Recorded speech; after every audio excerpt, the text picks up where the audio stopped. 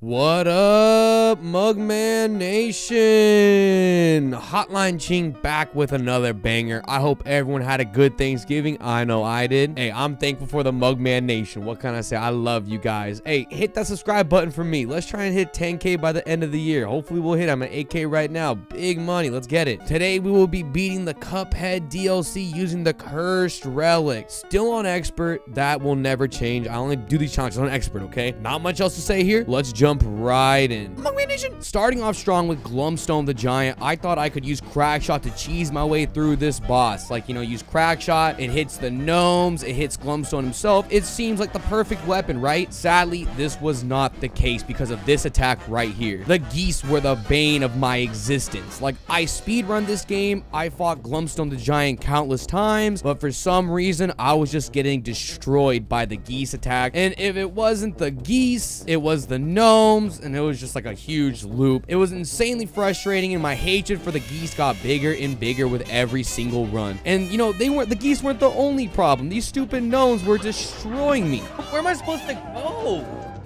Where am I supposed to go? What was the right what was the right choice right there with the cat and the attack? I was stuck in Glumstone the Giant Hell, and my only escape was beating this boss. I'm right in front of him. How did the lobber not hit him? I don't get it. However, it just seemed like nothing was going my way. I would get hit by the geese. I'm tired of the geese. I'm tired of the geese. Stop calling the geese in, man. If it wasn't the geese, I get hit by the gnomes. There was no escape. What? On top of that, the Cursed Relic allows you to get a few extra hearts because you have the parry ring, and the only thing I could parry was the potion attack. You only get like one or two parries every time. You need three to get your first heart. I was getting owned so hard, I had to get off and take a break and just think about my life. Why am I playing this game? Why am I doing this challenge? Am I really good at Cuphead? Glumstone was having your man existential, but we, we needed to keep going. You know, I needed to get this video done. I need to beat this challenge. And I knew if I was able to get through the first phase, phase two and phase three wouldn't be that bad. Eventually, I managed to clutch out the first phase, and then sadly, the second phase didn't go so well. Come on, I couldn't even see it. That's troll. That's troll. But luckily, I was able to.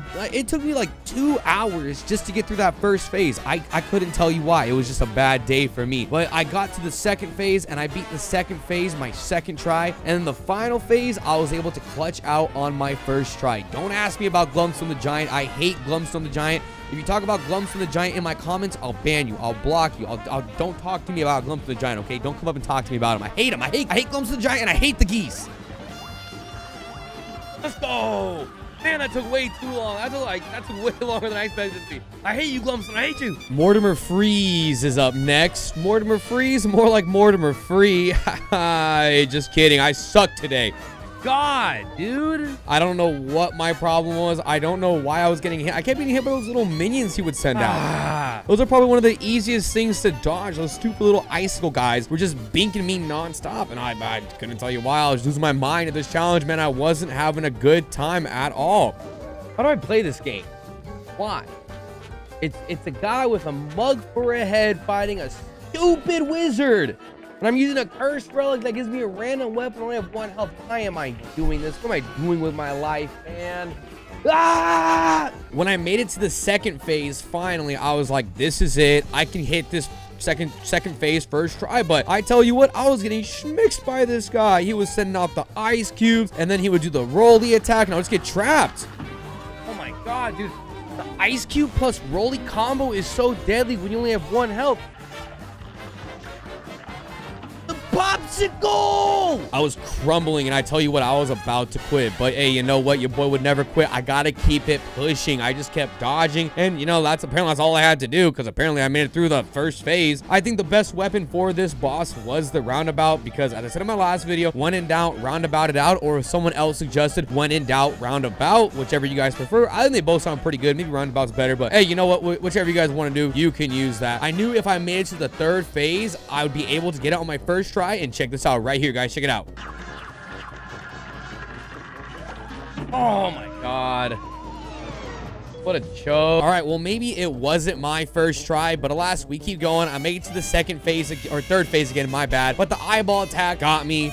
Oh, the eyeball. You know, it happens. And, but hey, third time's a charm, right? I got to the final phase a third time, and this time I'm able to clutch it out. Uh, kind of annoying phase. I couldn't tell you why. This boss fight isn't that bad. It's just like I became by those little Icicle minions. But hey, we did it.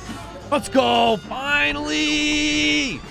That took way too long. I hate Mortimer Freeze. I never want to fight the boss again. My favorite boss of the DLC because I never get tired of seeing my girl Woof Woof. What up, dog? Ha ha ha. I actually gotta take a break from Mortimer Freeze and hit up the Howling Aces because nah, Mortimer Freeze is making me so mad. But hey, I did Howling Aces on like my second try, I think, so I won't be spending a lot of time on this boss, even though it is my favorite. I breezed through the first phase, mostly using Roundabout and whatever weapon I wanted. Honestly, any weapon really works for this first stage. I got a lot of parries out because of the bones, so I was able to stack a little bit of health going to the second phase, which made this game, which made this level a lot easier, just having the extra health. The second phase comes around, and I'm just beating up these dogs with the Roundabout, and I love this phase. It's very satisfying. You can take all these dogs out really fast, like Twist Up or Roundabout, and just in like Succession, it, it's a feels good man when you take away all of them really quick, and also a lot of parries get your HP up again. In the third phase, you know, pretty easy. There isn't really a must-use weapon for this. I just use whatever I get, and I just keep firing at, you know, at my girl Pilot Suzuki. I think that's her name, uh, or Pilot Saluki. I think one of the two, but than that, very easy boss. One of my favorite from the DLC. I'm sorry, I had, I'm sorry I had to kill you, Pilot Saluki. I love you. Please, please forgive me.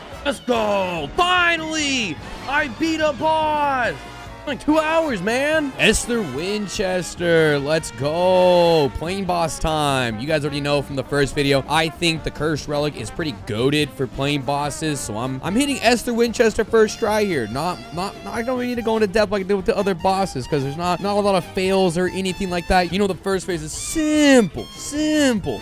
Second phase, simple. I'm just gonna let it let the bombs go, dodge the saves. I don't know. Like there's some of these bosses where I go into it, I need to explain a lot, but I feel like for Esther Winchester, there is there isn't much to explain. You know, just just keep using your pea shooter, dodge and use your bombs when you can. It's pretty straightforward. I think the first phase is probably the hardest phase of Esther Winchester, but hey, you know, it's a hard boss for some, easy for others. Some people have their bosses. I think this is one of the bosses. You know, I'm better. I'm really good at dodging those wieners. You know, every time she tries to shoot her meat at me, I'm always I'm always getting out of the way. Like, no, I don't I don't want like that meat. You know, I, I ain't about that meat life. But you know, it's all good. I respect people who are. Uh, more more just firing the pea shooter. You know, just don't want the meat in my face. And we, we take out Esther Winchester. Easy peasy. Hey, simple, right? Simple.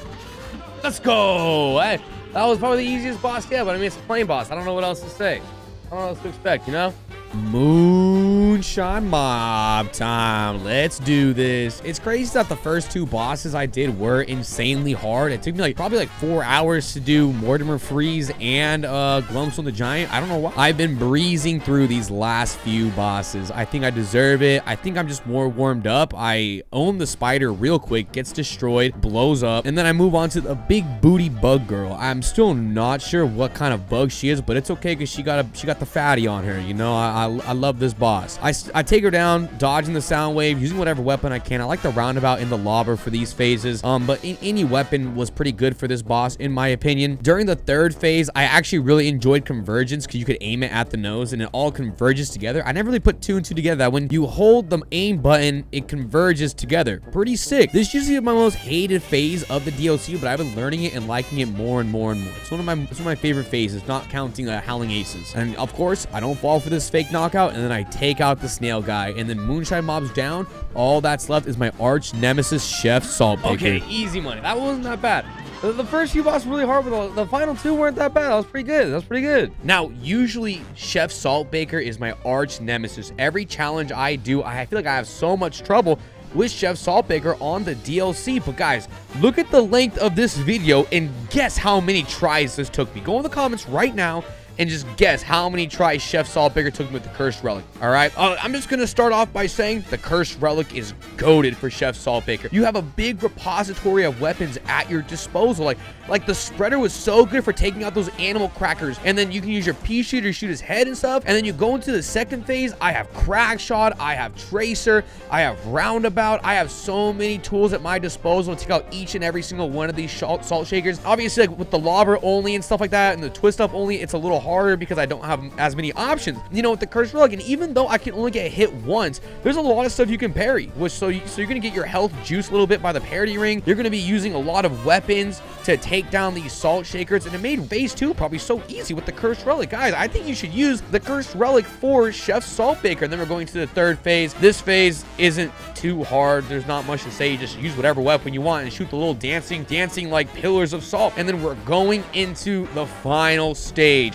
Do I have Chef Saltbaker on my first try? Let's find out. I'm going to use my crack shot. I'm cracked out of my mind. I'm switching weapons. Mainly using crack shot for this. Got to move around a lot. Let's see what happens, guys.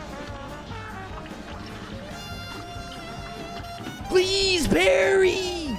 That was the closest first try of my life. Are you kidding me? Hey, sadly, I missed that parry, so I ended up not getting it my first try. But hey, if you guess two tries, you are correct. I did do this in two tries, way better than any of other of my challenges before. I did it. I'm pretty proud of this run, guys. Let's go. Dude, why was Chef Saltbaker the easiest part of this challenge? I don't get it. That was so easy. I did like two tries, three tries maybe. Let's go, baby. Let's go. And we're done, just like that. That took way too long. That took way longer than the base game. Why did that take so long? I hate this game. I hate the Cursed Relic. I'm never using this weapon again. Thank goodness that's over. Thank you, everyone. Subscribe, please subscribe. Hey, and that's it for the Cursed Relic run. Thanks for watching, everyone. Shouts out the Mugman Nation. Shouts out to the subscribers. I love you all. Let's hit 10K by the end of the year. Mugman, Mugman Nation, Mugman, Mugman Nation, Mugman Nation, Mugman, Mugman Nation.